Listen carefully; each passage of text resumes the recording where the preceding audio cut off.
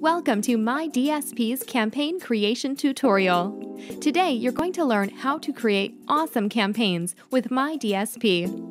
Let's get started. First things first, before you create a campaign, you need to add an advertiser. Keep in mind that you can also have one advertiser for multiple campaigns. Once you've added an advertiser, you can create your campaign. Let's take a look at the details section. Here, you need to fill out all the important info. Now you want an active campaign, right?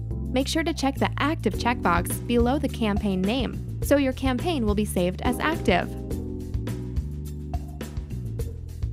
One tip, when choosing your campaign's classification, you can choose from a list of categories by clicking on the icon next to the field.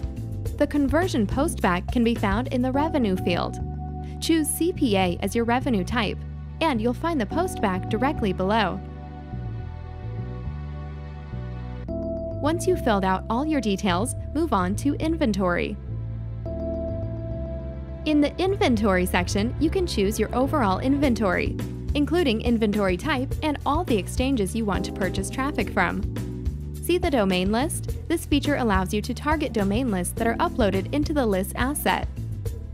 To learn how to upload lists, check out the List Management tutorial. Time to move on to targeting.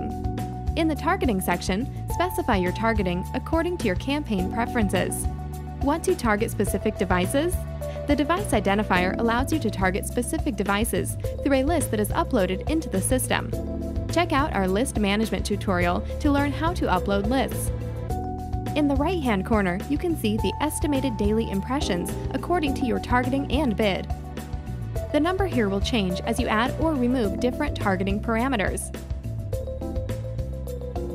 Next up is the Creatives section. Let's add creatives to your campaign. You have two choices here. You can either upload new creatives or choose from existing creatives that are associated with your advertiser. You can find these in the Creative Gallery in the Assets menu.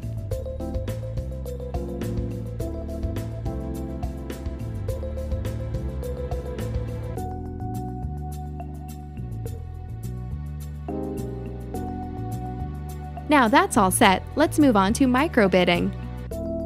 You don't have to use the microbidding feature, but we highly recommend it.